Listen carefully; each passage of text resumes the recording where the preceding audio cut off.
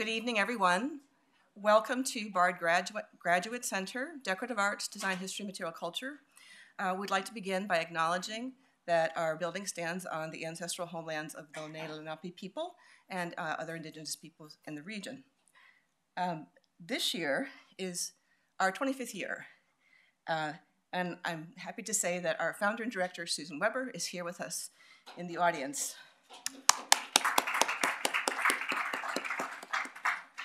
I'm Catherine Whalen, Associate Professor here at Bard Graduate Center, and I co-convene this series with my colleagues Meredith Linn and Ivan Gaskell. And this series is Mr. and, Mrs., Mr. and Mrs. Raymond J. Horowitz Foundation Seminar in New York and American Material Culture. And we are very, very grateful to the Horowitzes for supporting um, this series uh, for many years now. Yeah, but we're still supporting it. Should I say endowing? Endowing. Thank you for the historical correction. Uh, I'm really delighted to introduce uh, tonight's speaker, Michelle Erickson. Uh, Michelle has a BFA from the College of William and Mary, is an independent ceramics art artist and scholar. She's internationally recognized for her work um, in which she's studied and revived uh, ceramic techniques um, uh, from colonial America primarily uh, and also abroad.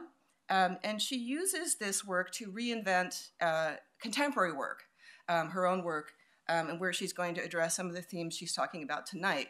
Uh, her lecture tonight is excuse me, Making History, The Art and Politics of Clay. Uh, her work has um, really helped uh, reinvigorate uh, decorative arts collections here in, in the US uh, and abroad um, by showing the kinds of political connections that you can make using contemporary art um, in reference to these um, historical moments and historical techniques. Um, her pieces um, actually are the first examples of contemporary ceramic art acquired by Colonial Williamsburg, the New York Historical Society, the Chipstone Foundation, and other institutions. Um, her work is in the collections of many of these major museums, uh, including also the Museum of Arts and Design, the Seattle Art Museum, uh, the Potteries Museum at Stoke-on-Trent, and the Victoria and Albert Museum.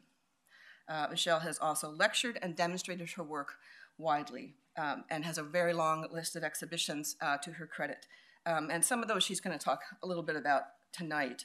Um, she's also published her scholarship in journals like um, Ceramics in America and also has been written about extensively. Uh, she's designed and produced ceramics for many museums, institutions, and collectors. Um, she, so she's going to show us some of the projects um, that she's worked on tonight. Um, and I'm, I'm adopting a no spoilers policy, and we're almost there. So please join me in welcoming Michelle Erickson.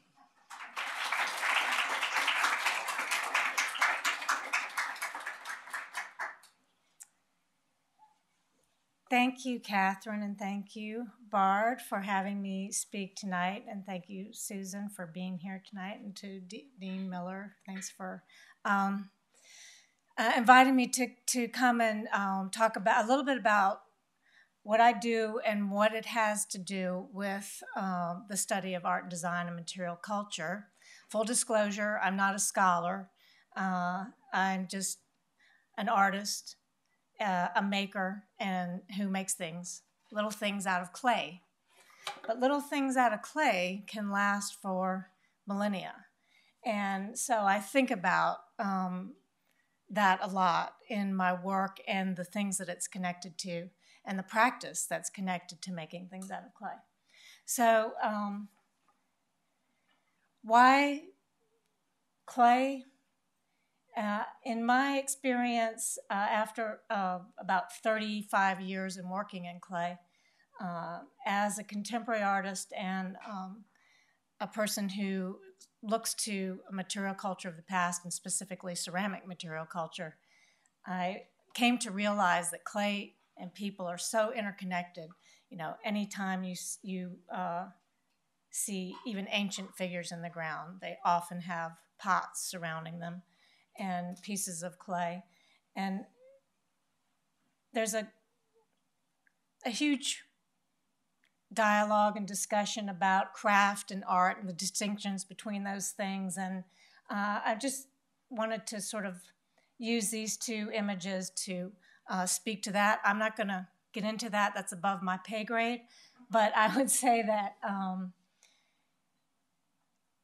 somebody might argue that that's not a good example for craft because it's a sculpture, but I would say that that piece has a function in a culture that is lost to us, it has a meaning that we can only experience in our present moment, just as this, what we see as a painting, also had a function and uh, also is an act of ex- human expression uh, and creativity. So, clay can tell you a lot about a person. The way that someone might handle a piece of clay, in fact, can tell you a lot about a person. And the way that an object is made can tell you a lot about the context and the culture and the place and time when it was made. And it can bring that into the present moment. Let's make sure.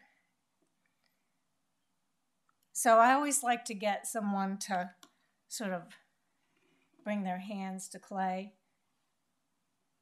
to know something about them. Gentle, Donald. Slowly. Okay. That's good. How much you want for your pot?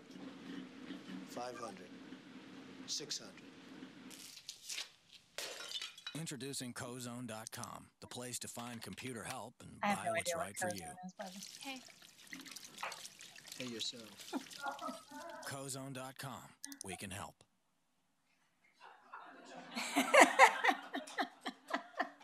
Oops. So that's a that's a pretty um, that's a pretty prescient ad. uh, let me go back to my other clicker. Sorry. And you know, making uh, so the reverse engineering of artifacts of cera- from ceramic history, and especially those that find themselves in a colonial American context, mostly archaeologically, uh, has been a real um, substantive part of my um, practice as an artist.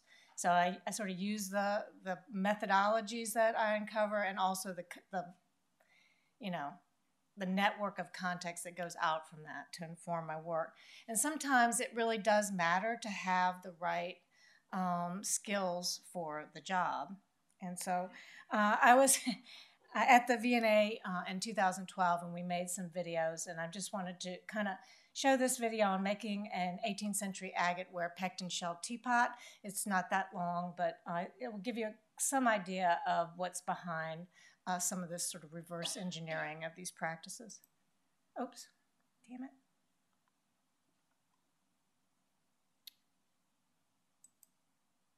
Okay.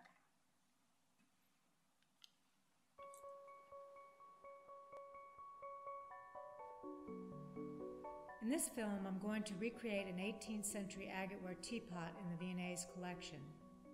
Agate ware uses different colored clays to create a pattern that imitates agate stone. This particular type of laid agate ware has to be press molded to maintain the pattern of the marbleized clay. To make the molds, it's necessary to investigate how the original model used for the molds was formed. My initial assumption is that it was sculpted to imitate a shell. I'll start by measuring the V&A's piece and increasing the scale taking account of the eventual shrinkage of the clay through drying and firing. I'm throwing a thick shape that can be marked, carved, and modeled into the main body of the teapot.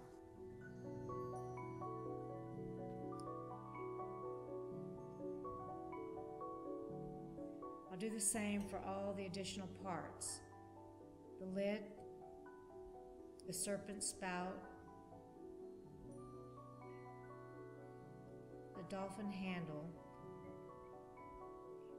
and the finial in the shape of a Chinese foo dog. The teapot has an oval form, so a leaf is cut out of the base and the sides are pushed together. I'm experimenting with how the form might have been originally made. After looking closely at the form of the original teapot, It seems that it may have been molded directly from a natural shell rather than being modeled. Following that insight, I'm cutting my thrown model in half to press into a mold from a natural shell. The shape, the size, and the number of lobes on the natural shell are very close to what I need for the teapot. I'm marking the cast shell with a compass so I can model it to recreate the exact shape I need. I've made plaster molds for each section of the teapot. Ornamental relief on the lid and the finial is carved directly into the plaster molds.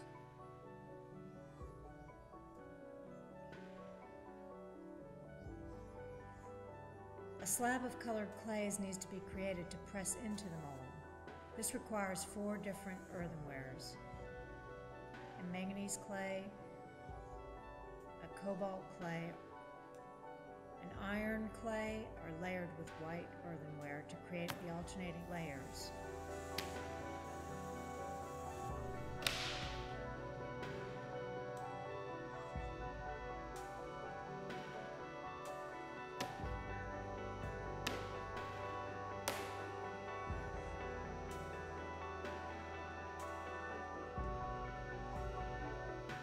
Slabs are turned into rolls and cut.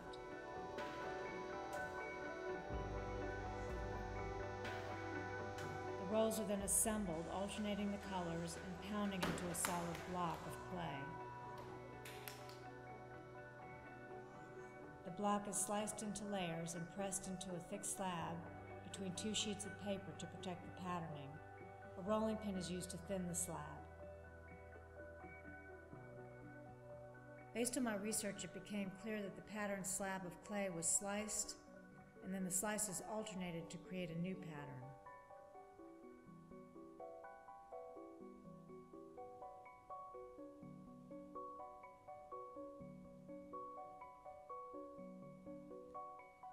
I'm carefully pressing the patterned slab into the shell teapot mold and trimming away the excess. I'm repeating that for the other parts.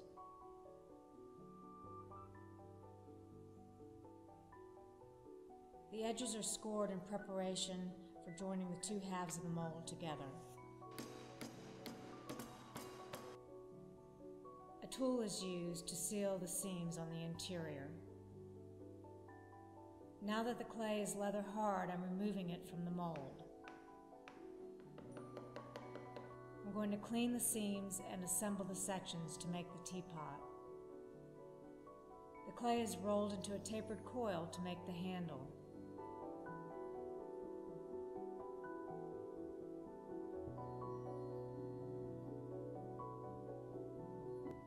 The handle has additional embellishment. An incised plaster sprig mold is used to create the eyes of the dolphin. Brass roulette makes the pattern on the dolphin's back. I'm piercing the holes that will let the tea flow from the body of the teapot into the spout. I'll now leave the pot to dry before bisque firing. After the bisque firing, the teapot is dipped in glaze, which temporarily covers the pattern and reveals the form of the shell.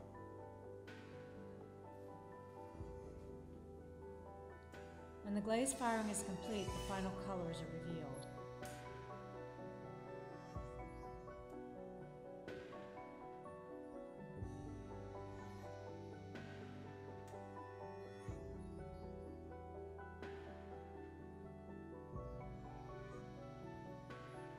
Here you can see my teapot on the right with the 18th century Staffordshire original on the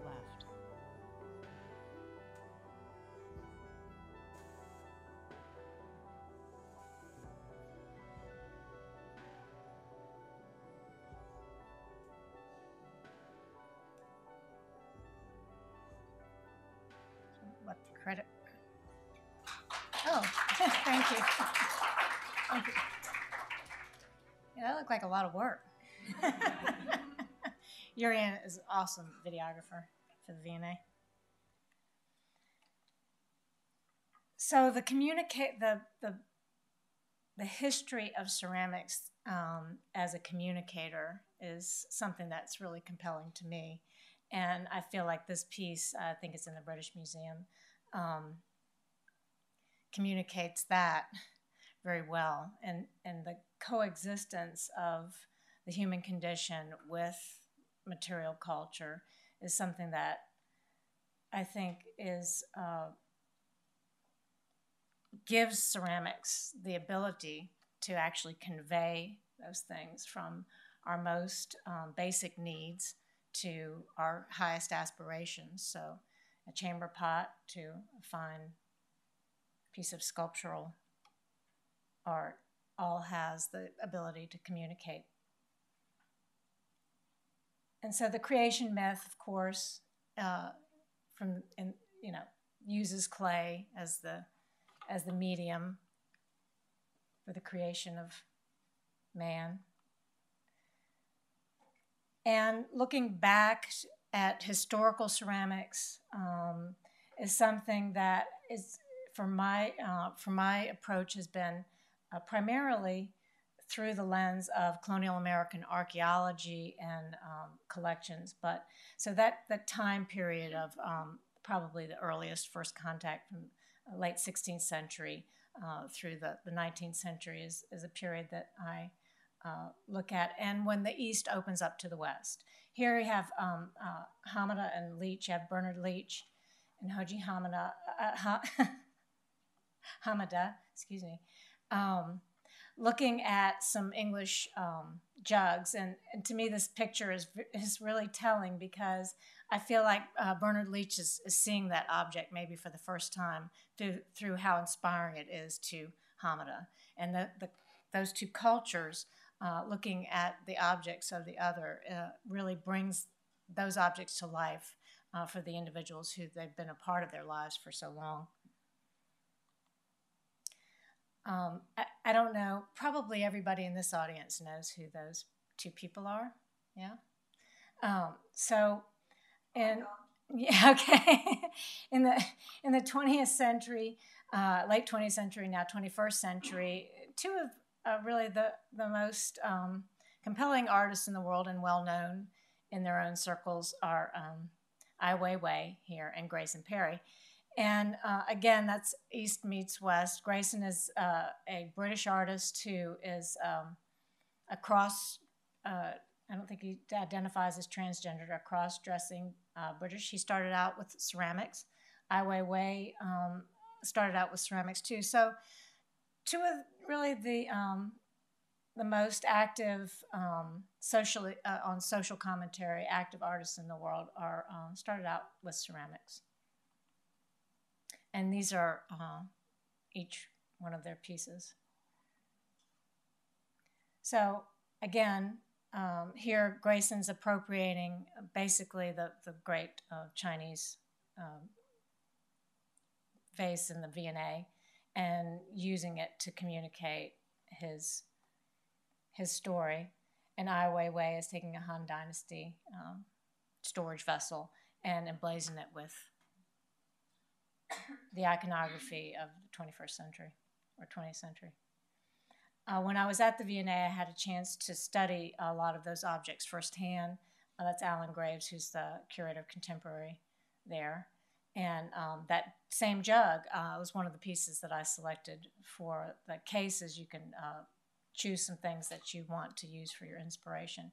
But it was a, a, an amazing opportunity to have that the, the uh, residency galleries actually in the ceramics galleries in the V&A um, but my at that point, I my, most of my exposure to ceramics from the past is from broken pieces, and this is just I'm doing some mudlarking on the Thames where you can find all kinds of uh, things, and that's just a little bit of Staffordshire slipware and probably a 17th century colander and all kinds of little bits and pieces that um, can tell a huge story. But my experience with it came from uh, Jamestown, Virginia, in the Colonial Triangle, Virginia, and where a Wanli cup like this, a, you know, 1600 Wanli porcelain wine cup can be found in the context of a lot of objects like this, which have very sort of alien forms, unknown uses um, that are being dug up out of the ground, things that people have walked over for you know a few hundred years, and they resurface as you know unknowns, but they're just they're so uh, intriguing. And what what what are they about? And what is the culture about that is using these things in their everyday life? But what's really compelling about Jamestown is that once you introduce this material into that mix of um, the juxtaposition of those objects, then you have a, a, unique story in the world. And so this is um, one of the first contact period Virginia Indian pots they've excavated, excavated there. And they have an exhibition up for the first time. They have uh, Pocahontas unearthed, so they have a lot of the Native American um, material culture from that first contact period on display in the Archaearium at Jamestown Island. And this um, person, who should probably be a national treasure, Daniel Firehawk Abbott, um, made everything in that photograph, and including the clothing that he's wearing. And those arts are lost. You know, those arts are not um, um, known, and they're very. It's very hard to come by people, um, indigenous people who have those practices. They're they're trying uh, to really um, bring that back, especially especially on the East Coast and, and those uh, tribes. They're really trying to uh, cultivate, recultivate uh, the culture through the making of things and, and the practice of all kinds of um, uh, foodways and and uh, farming and uh, fishing and all you know which have been really pretty much lost to time. So if you go to Jamestown and you see um, that exhibition, Pocahontas Unearthed, you will probably meet Daniel, uh, you might meet him doing demonstrations and, or talking about his culture at Jamestown because that is a, pl- a, place where he's able to, to do that. And I think that's, um, I don't know what I think about that. But when I um, was working with that material for some years, I was contacted by the movie industry to create uh, some work for the movie, The New World. And at that point, um, I've been working in these sort of practices and recreating that period, that specific period of things, um, not really most for to sell so much as um, to figure them out and then and then sell the things that I might that might come out. Uh, this is a 18th century Staffordshire slipware dish. It's a little later than that first contact period, and uh, this is part of uh, some work that I did for Ceramics in America. The first issue of it has uh, an article on English slipwares and uh, rediscovering some of the techniques of uh, early English slipware. And so this pomegranate dish I use because it's a very um, at the time that this is being made in Staffordshire, Staffordshire slipwares and the slip the slipware English slipwares seem to me to be really uh, more about um, their own cultural practice, and it's a very uh, unique to um, their methods and their uh, expression in clay. Uh, a lot of at that point, a lot of the um, Europe and, and Britain are trying to imitate Chinese porcelains, which are becoming desirable. But the slipwares really speak to that um, English culture. And I wanted to use that for this piece, Virginia, which was inspired by the work that I did um, while working on the set of uh, The New World. There was a lot of um, uh, Native American actors. They were all in their full dress and they were, um, you know, sitting up next to the trailer having their, their lunch from food services or whatever in full war paint. And I got sort of, um, I had been working on uh, this idea for this bust that kind of represents that first contact period and the and the the, the clash and the coming together of those two cultures. And so this is the war paint is the Union Jack. So this practice of slipware in England captured the imagination of Bernard Leach again, and he did what's probably not one of his most famous pieces because it's considered to be a reproduction uh, of a Thomas Toft piece, which was a 17th century English slipware potter. Uh, but I think it's one of his best pieces exactly for that reason. And um, I was commissioned to do a piece to be presented to Queen Elizabeth when she came to the 400th anniversary of um, the founding of Jamestown. And I wanted to kind of speak to that moment to uh, deal with the subject matter of uh, indigenous people of Virginia and, and, the, and the long arm that colonial, uh, colonialism has had on those people. And, as well as commemorate that. So I often use uh, clay from a place. I used um, some some clay from Jamestown Island itself to create the piece, uh, Terra Nova, which is a cover article written by Ivor Noel Hume, who's now um, gone for Ceramics in America, I think 2008. So I have the the Adam and Eve in, in the after the De Bry or the John White watercolors of the Virginia Indians, and then I have the thistle and rose and the crown, sort of in the posture of the the, temp- the snake and the temptation. Here's Grayson again. And I had an opportunity, I was invited to be the guest artist at the North Devon Festival of Pottery um, and to make pieces. I made some things out of Jamestown clay that I took over to fire in a wood fire kiln there and then made some pieces out of their Fremington clay that they have in North Devon. So, North Devon Sgraffito, which goes on for hundreds of years. And there's a piece upstairs that's probably a 20th century version of that. Um, I was able to use that, make a piece, and the the Devon ball clay to slip it in, and um, I wanted to do a portrait jug, and I decided to do um, portrait of of the Queen. So this is a portrait of Grayson Perry called Vanitas, and this is the the wood fire kiln. The guy in the bandana is actually Bernard Leach's grandson, Philip Leach um, John Edgeler, who's written tons of books on um, English slipware and a couple, a couple other really, really great potters and really good people, good artists. Wood fire. This is all wood fired earthenware artists in that area, and there's a really um, substantial practice of that right now in that area. And this is the finished piece in a private collection.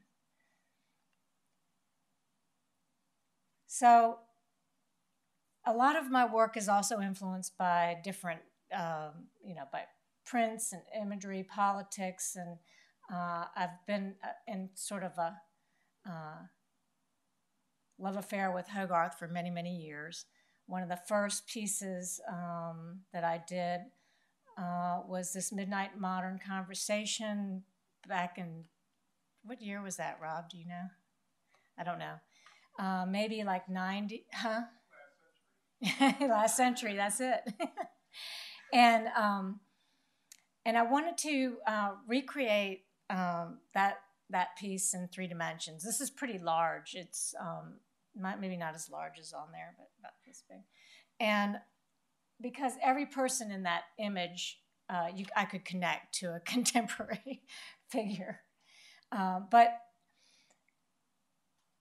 it also uh, when you look at, at prints, and of course, there's so much material culture um, that is revealed in those things. And when you go to actually three make those three in three dimension, it makes you it forces you really to try to understand what those objects are, what they really were, um, and and they really are all something because when you think about that, of course, this is the stuff that Hogarth in his time uh, saw and used every day. So they were not imaginary things. I mean, of course, he puts lots of uh, you know, imaginary imagery in there. But And these little figural groups um, and that were made in Staffordshire are, are similar in that they have they're telling you a lot about the social practices, the functional practice, functional uses for these things, uh, and something about how how these scenes played out in the 18th century.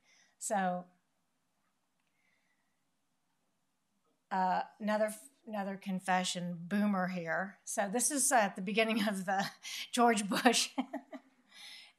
well, not at the beginning. This is about the yellow cake uranium, and I use the format of those figural groups um, to do um, Texas Tea Party, which was before the Tea Party, the new Tea Party came into existence. This was back in two, 2005. That that term was not coined yet for that group of people, but. Um, so it's some various characters. Uh, Dick Cheney, they're all um, sort of having a real good time, having tea, Texas tea, and yellow cake. And that's GW and Condoleezza Rice there. and a pecten shell teapot. You have to have that, shell oil. So um, I had I had been looking at this for a long time, and it, you know, uh, as you do, sticking away some something that you know is going to be uh, an inspiration for something. This is uh, the Able Doctor. This is Paul Revere's engraving, um, and you know, I don't think I need to really describe how harsh this scene is, and you know, the, all the various things that are implied here. There's, you know, on so many levels but you have a general, you have a judge, you have uh, France and Spain, you have, um, uh, I forget who this guy is, uh, and you have Britannia sort of weeping, and you have this uh, terrible depiction of, of, of, America as a um, native woman being, you know, abused every way they could possibly do it. And I realized that the composition of that piece um, reminded me of something, and sometime later, uh, I discovered what I think that is, and that it was uh, the Lamentation. I used to pass this every day at the V&A in the sculpture hall, and the back of it is even better than the front. But this is um, a piece by Grayson Perry, who got into tapestries and, and does these incredible tapestries. Um, I mean, he he designs them, I think, and um, I felt that that his uh, oh, I don't have the title, and I don't I don't know what the title of this is. I'm sorry. Um, this piece uh, is that um, that same imagery of the lamentation with you know a dying crack addict and all kinds of various Im- iconography and imagery, the BP oil and the, and the uh, McDonald's sign and so forth. But I, I started to look, you know, into that, and it, you know, really, it's um, it's pretty, you know, substantial that that's what's going on there. So that's a pretty brutal 18th century political satire, I would say, and and uh, so it didn't I didn't feel as bad when I transformed that into. Um, this is an image that, so I used that and overlaid contemporary figures um, to create this image to make a transfer print. And that image is called The Party's Over. And so here you have um, Justice Roberts, you have Wayne LaPierre, you have John Boehner, who was then the Speaker of the House. You have Ken Cuccinelli, uh, who in Virginia was um, trying to enforce uh, uh, uh, institute a law that was basically forcible sodomy on women to have a ultra, vaginal ultrasound if they wanted to get an abortion, and um, he is now in charge. Uh, he is now um, overseeing uh, immigration, which is a scary prospect. Uh, Rand Paul and Mitch McConnell, who has a big role this week, I guess. Um, and this is uh, uh, that image in, uh, turned into a transfer print that's been applied to a porcelain shell edge dish that I made I have applied this on period, uh, some transfer on period objects occasionally. Um, this one I did. This is another figure historically that I feel has real resonance, and I just wasn't sure how and why. And I've, another another image I've been looking at for a long time, and and another character that seems um, like it can speak to the present moment. Uh, and you can all read that and try to figure out who you think that might be. Um, and this is a Chinese porcelain export bowl. I think it's in Colonial Williamsburg's collection that uh, depicts um, John Wilkes. But I like the part he spent much of his early co- career twitting John Stuart. twitting John Stuart. I don't know. It's crazy. So revolution makes for um, some unlikely heroes, and um, I decided to transform that into uh, a, a political portrait of Trump, and it has several variations. This is the first piece, uh, Republican Party, and um,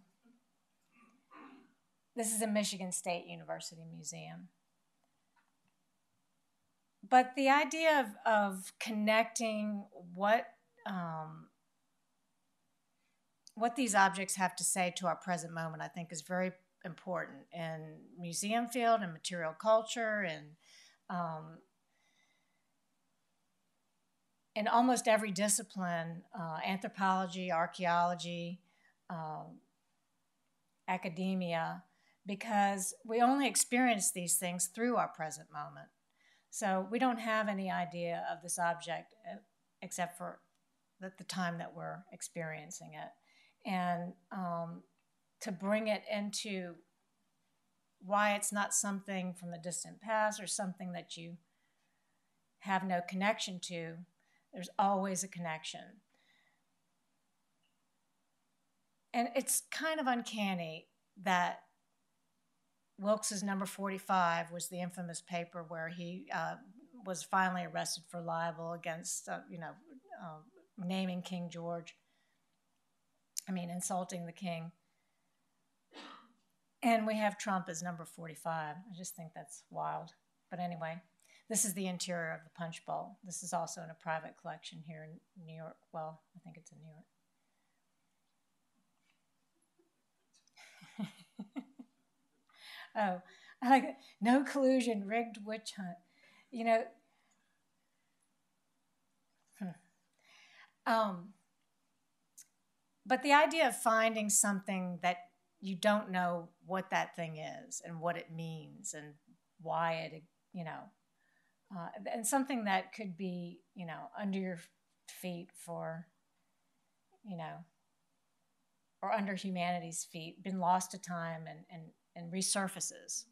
Uh, in the 18th century, when they were uh, unearthing some excavation of dinosaurs and fossils, uh, it became a, you know, a, a, rightly so, a, uh, a, a mania about fossils and, and and that translated into the ceramics of the day. And this wonderful Staffordshire salt glaze enamel painted teapot uh, is 18th century uh, enamel painter that's working in a pottery's depiction of fossilized imagery. What a great object, right? So that's in the, I think that's in the Chipstone collection.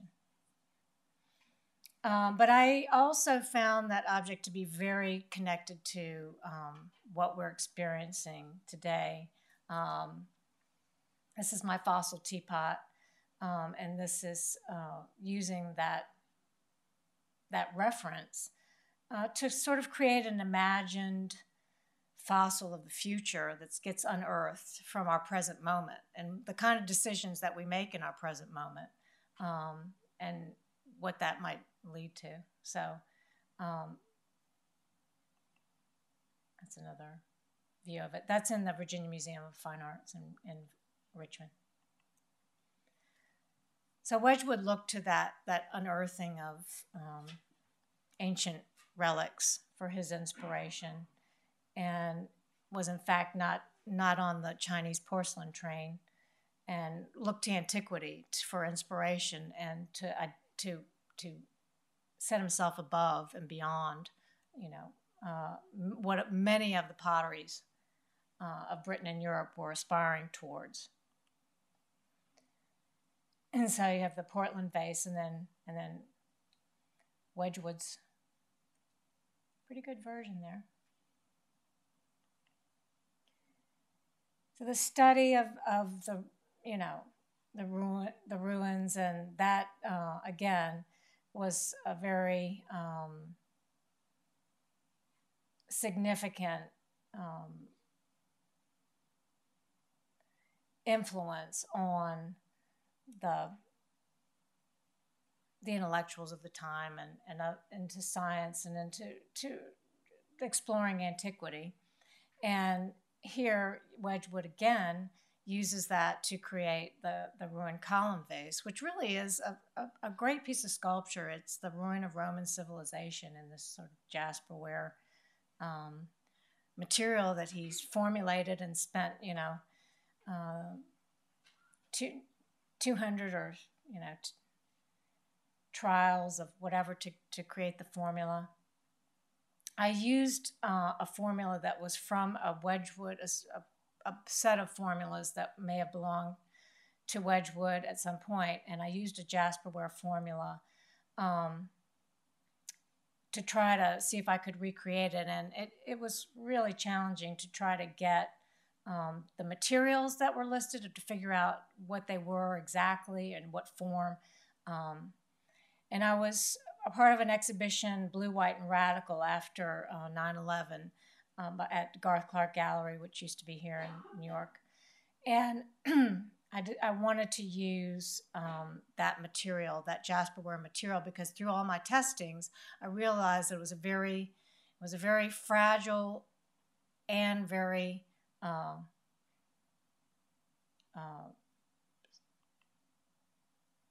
hard material. So it, it would not bend, it would only break, but it was also as hard as stone. And I uh, created this piece from, from that exploration uh, for that exhibition. There's two other um, versions of blue and white in that group of pieces I did. One's at the New York Historical Society, and one's up here in New York somewhere.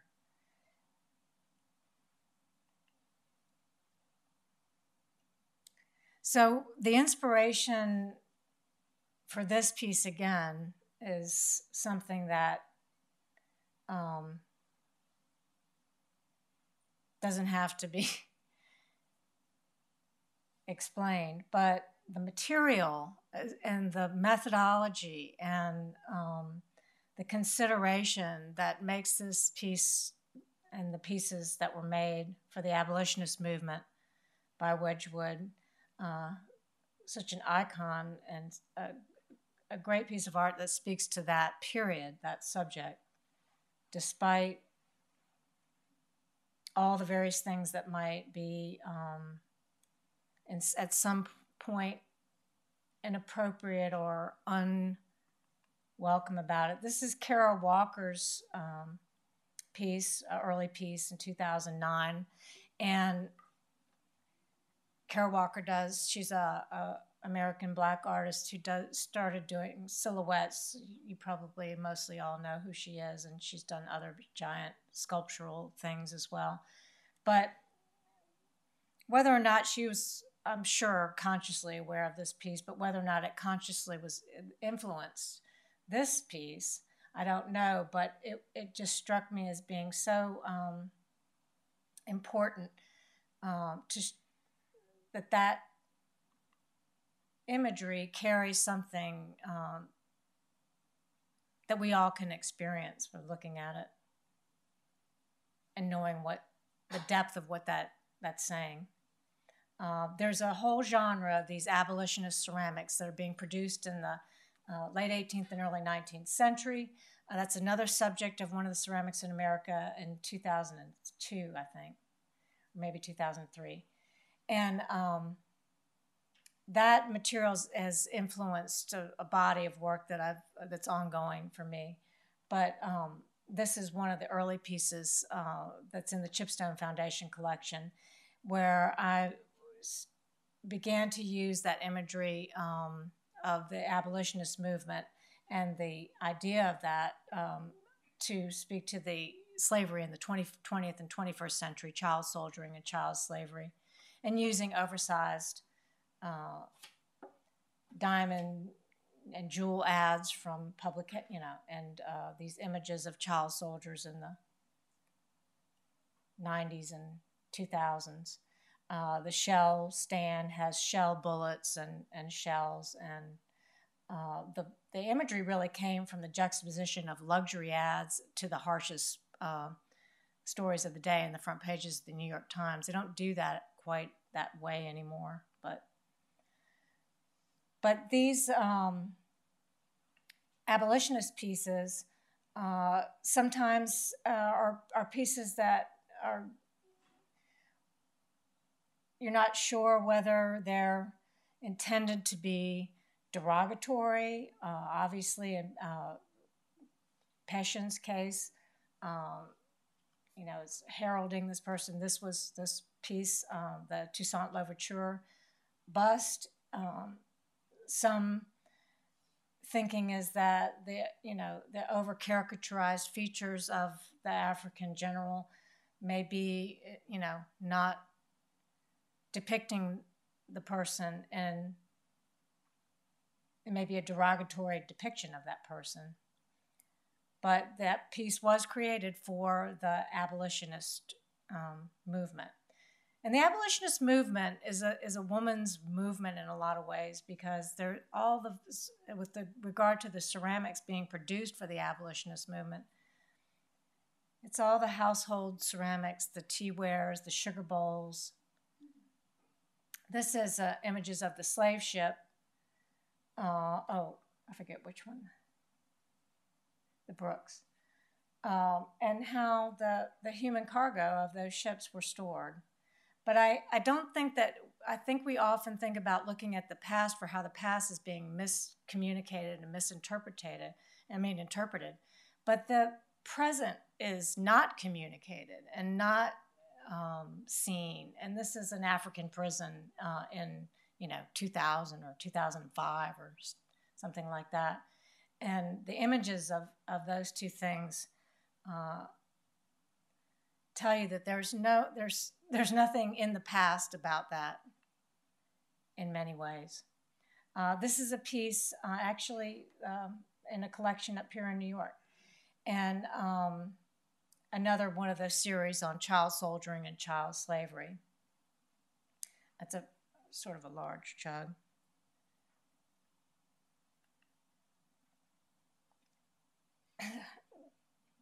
So when the when Colin Kaepernick and uh, many of his um, teammates there took their knee, um, I could not believe what I was seeing happen and what a, an incredible moment in history that was.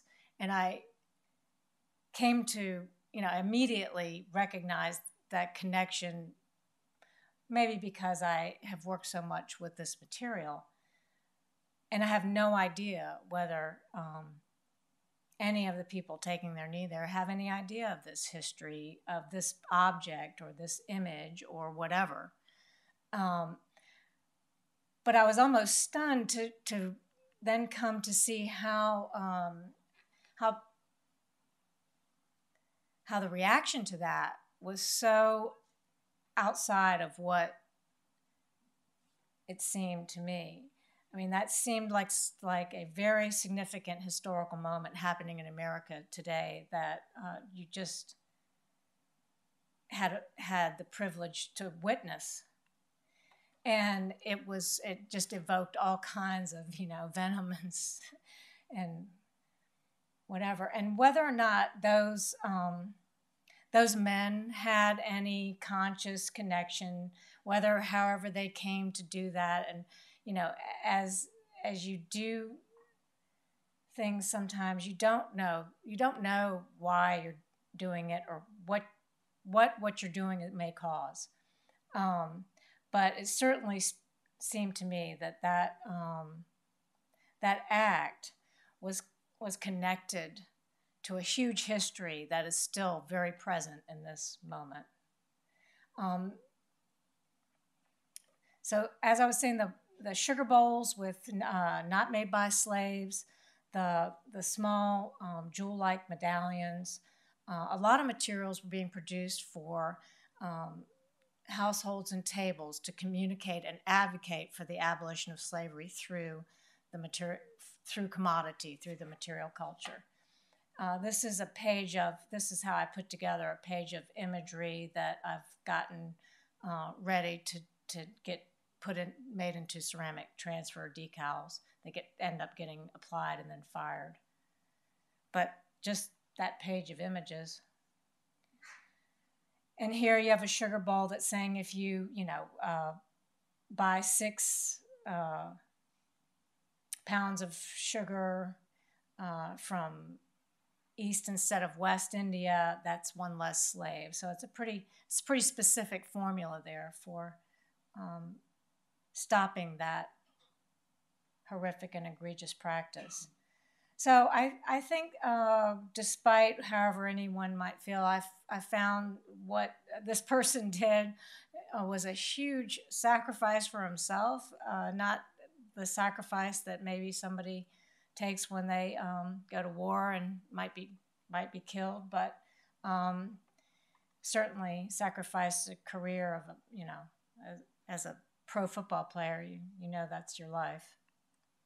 And so I did this piece called Patriot Jug um, to, to document that. This uh, image uh, of a, a, female kneeling, kneeling slave comes from a, a pincushion that's in, I think, the Liverpool Museum of Art. And that's, that's an incredible um, object, you know, a very intimate object that a woman would wear every day to remind her of this, you know, uh, egregious practice that's that's a, you know afflicting society. And this is the Nike equality on the other side.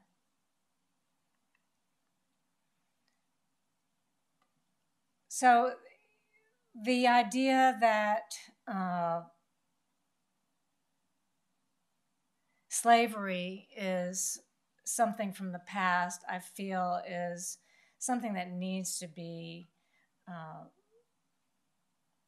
exposed because there's so much that cuts through generations that's still here. This series of skulls uh, is called Colored Skulls. These are, um, I did an exhibition at Wilton House Museum in uh, Richmond, Virginia. It's a, a, Virginia plantation house on the James River. And these were installed in the master bedroom, the master's bedroom, the back bedroom of the house. These are cast in porcelains that are made for the doll industries that are porcelains to depict different skin colors. So they might have Cameroon or Creole or uh, desert beige. These are the names of these uh, these commercially produced slips to make china dolls. Um, and so I, I wanted to use those to do a series of these skulls. Um, the, the back stairwell connected the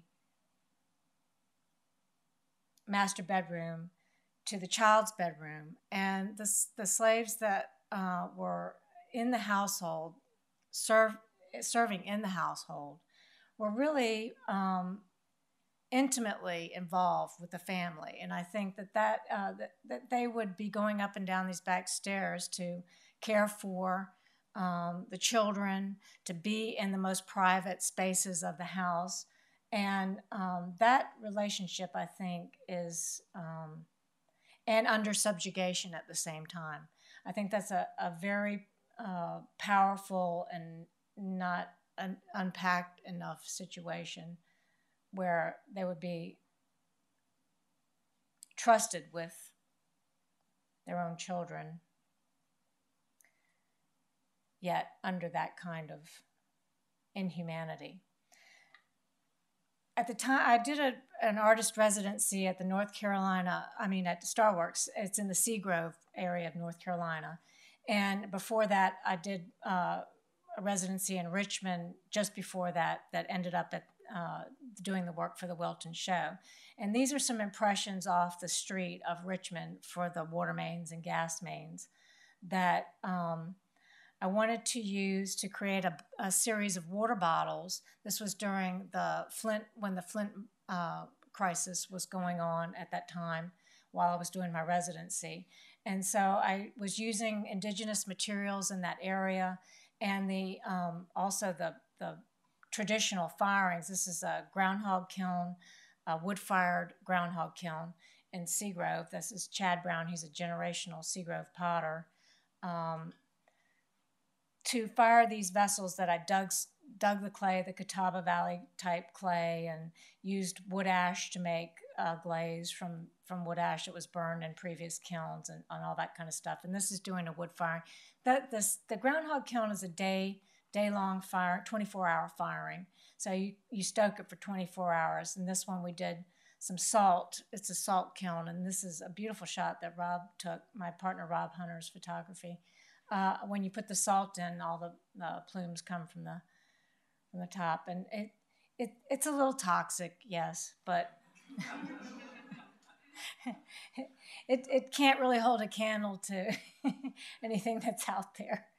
Um, but it was it was an amazing experience to go and work with these uh, wood fire artists in this area. There's about a hundred. There's over a hundred potters in this area in North Carolina. It's a very unusual. Uh, you know, in Britain there's a huge ceramic footprint, but we don't really have that here in America. And there are um, there's probably no other place in America like this. So if you get a chance to go to Seagrove, there's some there's some great things there to see. And this is the piece, um, or detail of the piece as it came out, which is sort of in the form of, of the German uh, stoneware bottles that are ubiquitous on all colonial American sites. Um, this is a, maybe a fancier one. Another North Carolina uh, potting tradition of the Moravian uh, ceramists who are in Winston-Salem um, created these among many, many other, you know, uh, great slipwares and these figural bottles. And I did some work on rediscovering the process of how these pieces were made. I'm just not going to talk about that very much, but um, what I will say is when you look at these people, these pieces, and somebody said, well, they were made in a mold, and but you have to have something to, to take a mold from. So you have to make the the piece that the mold is taken from, and that's where I always start as a step back from there. So the piece that you see in the mold there is demolding um, a cast piece, but I had to make an original model that that plaster mold could be made off of in all the various little parts. And then here is it being put together. And then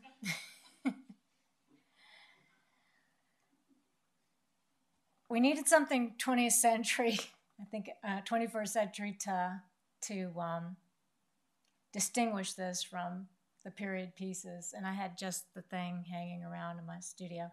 So um, this is my Second Amendment squirrel. Um, there's a couple of them out there, but it started this sort of little green army. So they're they're different versions of this, and, and there's sort of a you know Animal Farm uh, twist to these pieces. So I like that. I like that to use all the rigor of the process, the the original historical context of those things, and and then try to you know use some sweat to get them there to then speak to that our moment um, to really try to connect them. Uh, when i was doing the residency at seagrove the hb2 law was um, in the was being passed uh, and had not been challenged yet. And i don't if you don't know what the hb2 law was is it was to that um, basically uh, legislation of uh, transgender people presenting, uh, using their the bathroom of their birth uh, sex, and then having to identify uh, that. And it was really just a, a, a tool to intimidate, you know, the transgender community, LGBTQ and community, into um, bringing some kind of legislation up that get that got people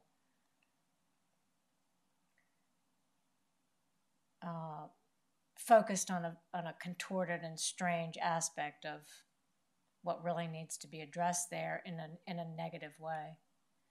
So I decided to do an oversized version of my um, North Carolina squirrels to speak to that issue because this was all this all was began in North Carolina, the HB2 law, and it, it was pretty um, intense there about that. This is Ben Owen III. He's a, a, a master uh, woodfire, a salt glaze artist, and his great grandfather uh, is probably one of the most well known uh, Seagrove potters, North Carolina potters. And he let me put my dumb things in his kiln.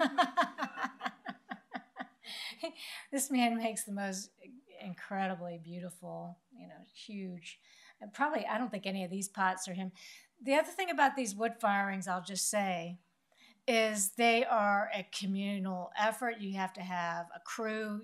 Uh, Ben's kiln and some other uh, David's kiln that I usually do. It's a five day, 24 hour day stoking of those kilns to fire these pieces. They only happen once or twice a year, and there's a lot committed to each kiln. These are the uh, these are the finished products, which were also um, they were salt salt wood fired, and they're in the Mint Museum. Um, uptown.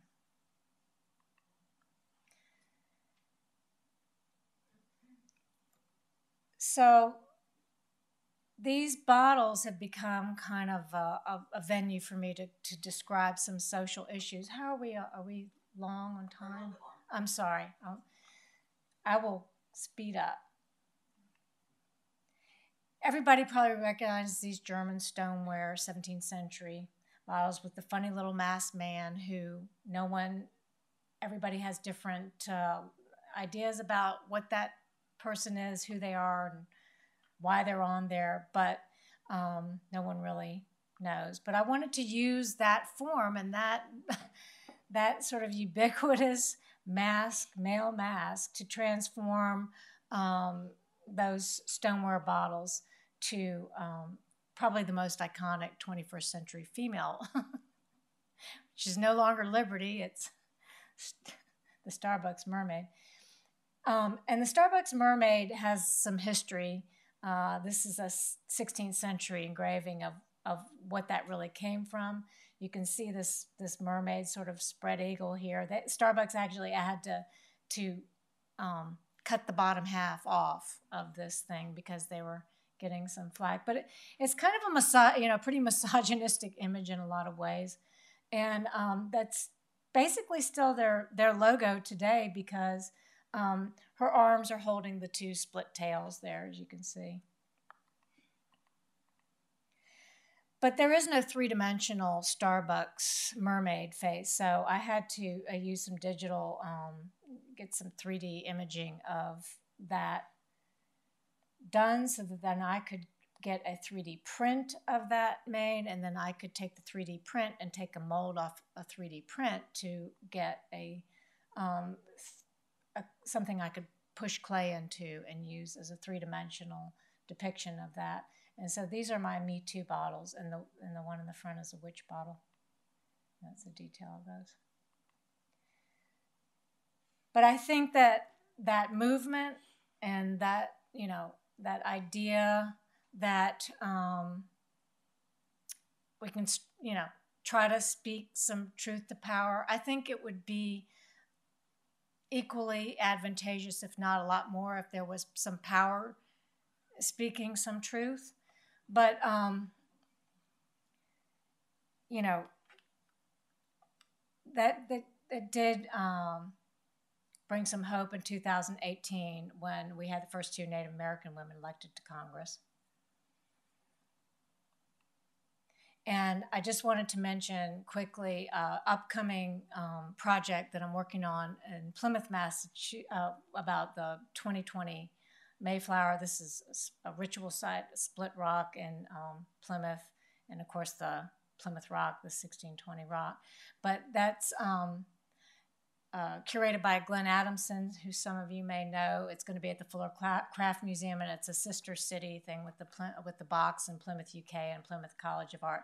And it's ten contemporary artists trying to unpack that subject matter a little bit, especially with regard to um, Indigenous peoples, First Nation peoples. And I'll just this is David Stuempfle in the back. One of the premises of this is to work in six, late 16th, early 17th century technologies and not use modern technologies, which is impossible. But I tried to focus on uh, doing uh, wood firing. Uh, this is David Stuempfle in the background, his wood fire kiln, and I'll be working with um, uh, him. That's a couple of pieces coming out of the kiln to come. The last thing is a project that we've been trying to do for some time and just are about to complete and that is it was a subject of the 2007 Ceramics in America making of a Bonnin Morris pickle stand.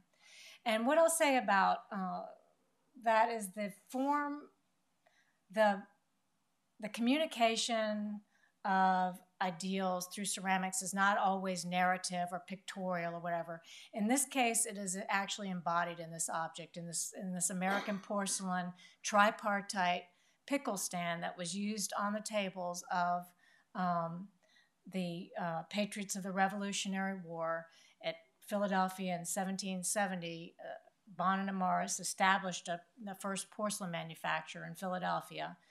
You know, in the midst of uh, the lead up to the American Revolution. So this piece means something. It was designed a certain way. I won't go into it now, but it will be the subject of this little video that we're doing.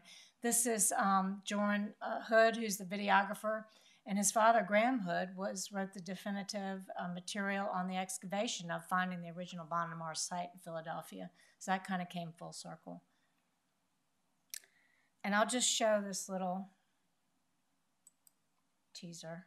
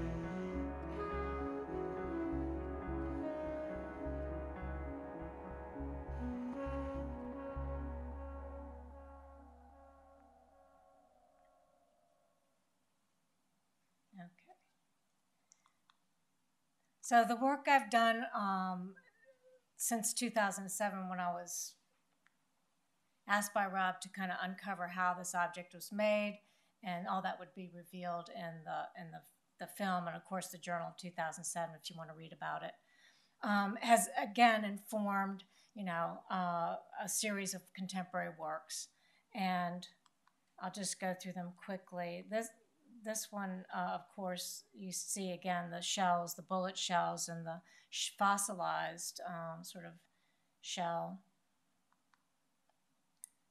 This is in the Carnegie Museum, made in China.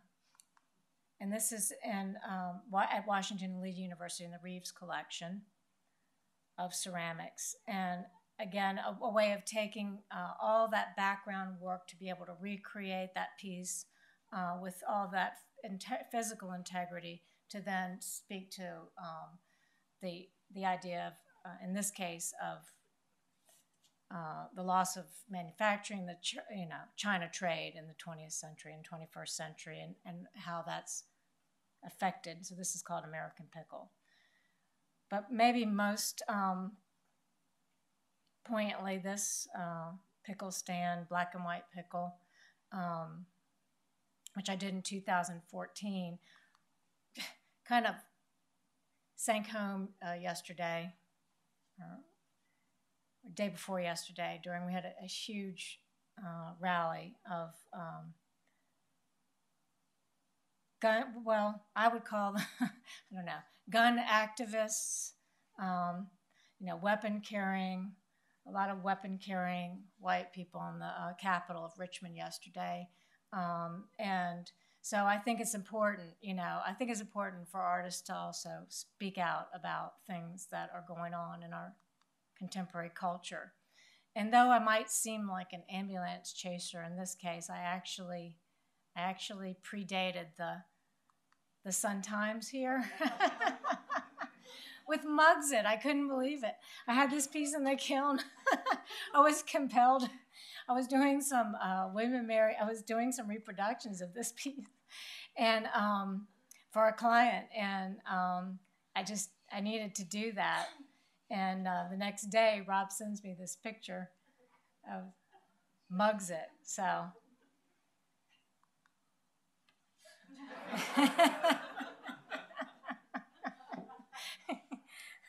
That's the shrug emoji, by the way. Thank you guys. Make sure you pay attention to Ceramics in America. It's an incredible publication, and everything I've talked about tonight, um, you can you can really glean so much more from uh, this publication. So it's an annual journal edited by Robert Hunter, published by the Chipstone Foundation. And this is the 2018 issue, issue, which is the most recent one. And it does have an article on my work in it that Rob wrote. So on uh, the Last Drop project. So thank you guys.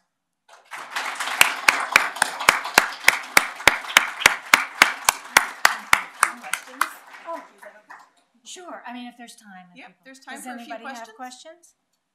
No? Yeah. Your um, grenade squirrel. Yes. Now, some of them are very, very large. Was this? That was to scale of the original, yeah. So the green ones are to the scale, and the only big ones I, I did were the ones with the, um, uh, you know, the symbols that are in the Mint Museum, the gender symbols. Anybody? Hi. working on my jaw. I was wondering if you, when you did the yellow cake, if you're using I will never tell. I was. They were doing a restoration on this piece. Um, was it Lucie Rie or this piece at the V&A? I don't remember who the artist was, and they had it in a vault because it had some uranium in the glaze. you had to go in with gloves and stuff. No, no, I can't get a hold of that stuff. Can you? Anybody? Yes. Uh, I'm curious in, in, your time doing residencies at museums and working with collections, um, to what extent have you interfaced with conservation departments at those institutions and uh, kinds of technical analysis? Yeah. It played big, and I didn't include any of that. I just do too much stuff to. Um, but at the V&A, I did. I worked really closely with one of the conservationists there, and she introduced me to this silicon putty that I'm now, you know, that it became an addiction.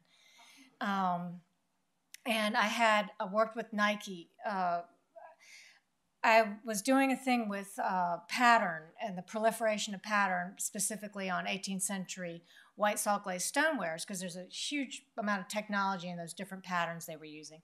And I wanted to connect that up to a 21st century um, commodity that incorporates all those patterns. And, and so I realize it's tennis shoes. It's you know there's like 20 different patterns on one pair of tennis shoes of all these different materials and whatever. So uh, and the Olympics were going on while I was there. So anyway, I reached out. I was able to reach out to Nike because we have a friend who works for Nike, and see if they would. Um, you know, bring me some Olympic trainers, which they did, and it's super cool. If you go on anything I have online, you can see that.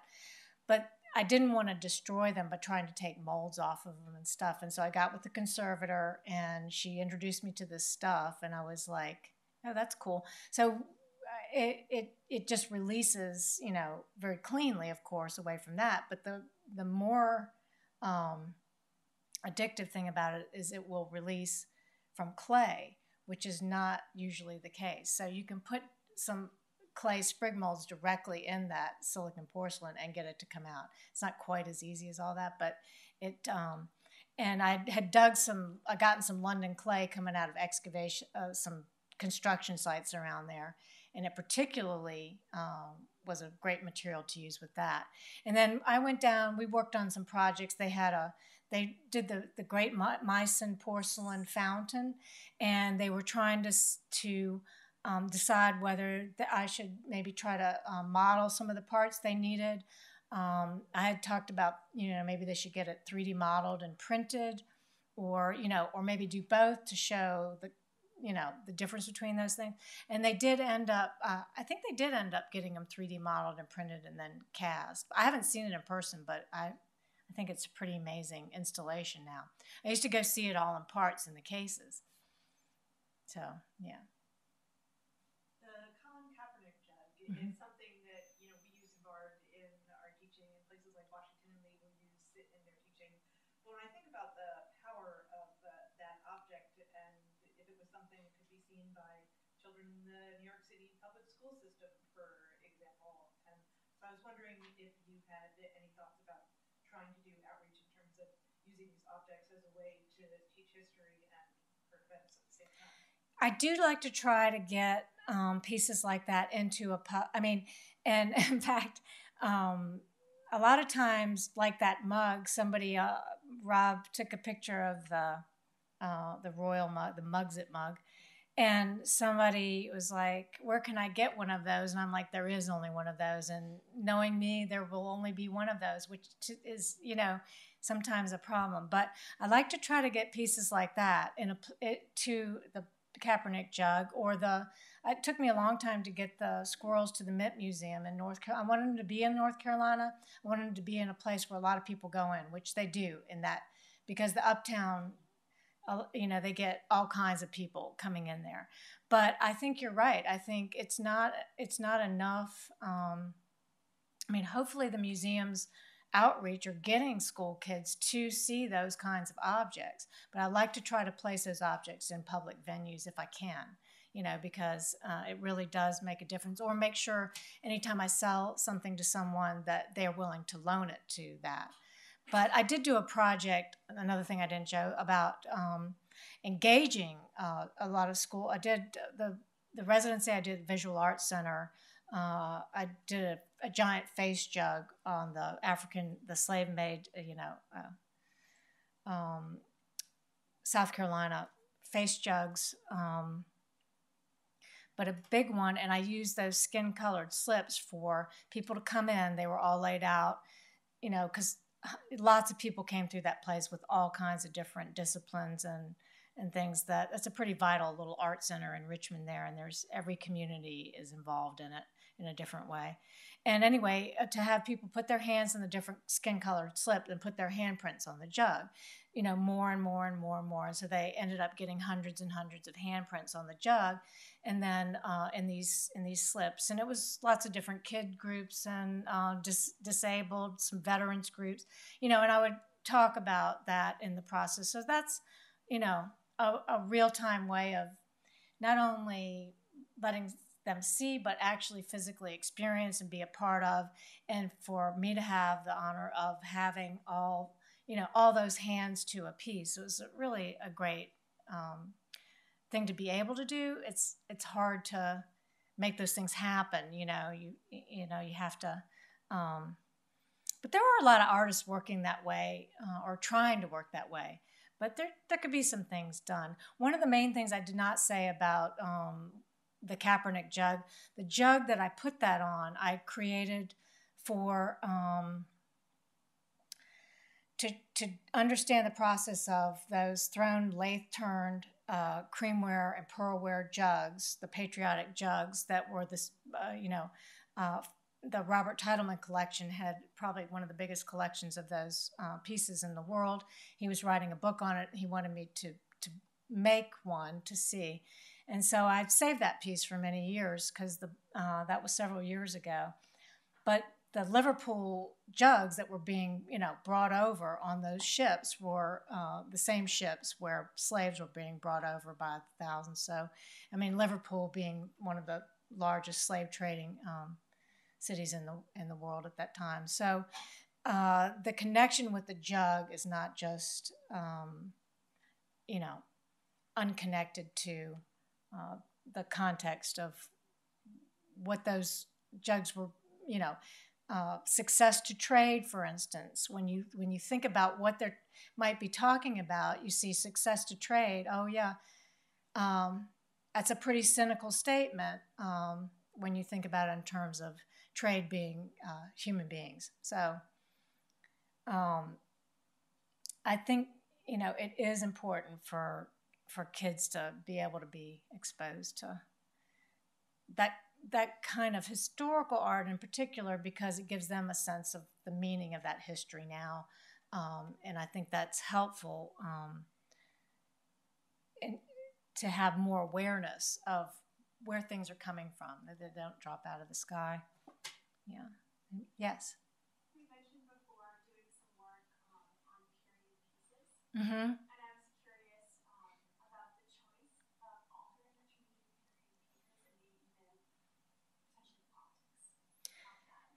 Yeah, and I um I mean one of the reasons not I don't know if it's one of the reasons, but one one thing I've always done is figure out a way to recreate that piece so convincingly in, in whatever way I needed to, to be convincing.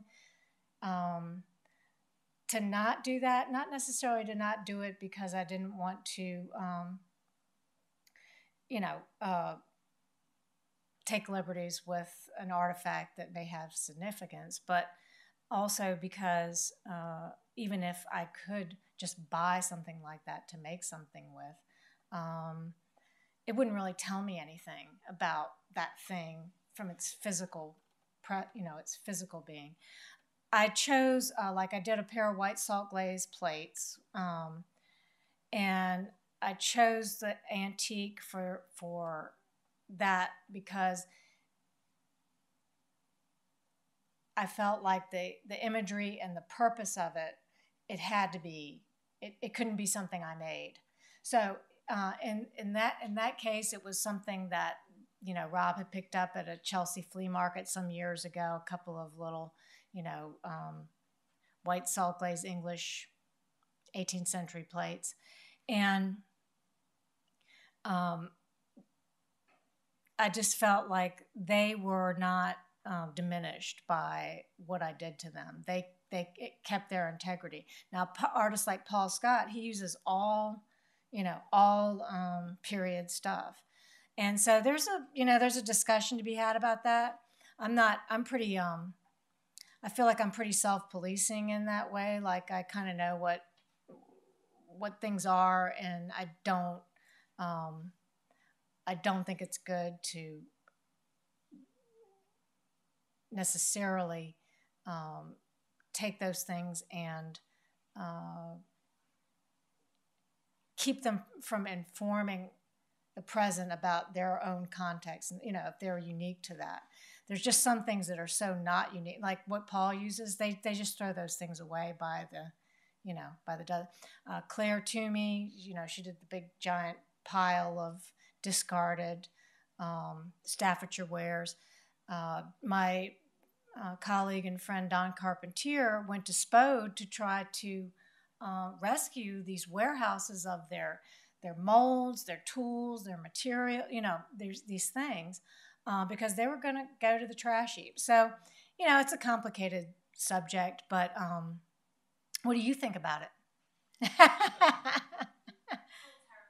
yeah. Yeah, I think it could be scary, if, especially like that's why I say I'm self-policing because I've been working with this material for a long time. But you know, somebody like Ruby Sterling might come along and say, "Hey, let's take all this old stuff," and he's probably got enough money to buy some really, you know, important things and put them together and maybe fire them up. And I'll be like, "All right, you go, dude." Now I don't care. I mean, it's not that I don't care. I just don't. Um, I don't feel like I. need to weigh in on that. You know, I feel like what what people do sometimes is not, you know, not okay with me, but in the end it may be important that it happened. And it did if it did happen it happened. And what are you going to you know what can you do about it? So um, yeah i just uh, don't in fact i have a piece right now. I've been struggling with that for about eight months now a big salt glaze charger that I wanted to do, and I acquired it for that purpose. But it's pretty unique, and I think I've decided that I'm just not going to do that to that piece. Yeah, which Rob is glad to hear. Thank you so much, Michelle. Thank you.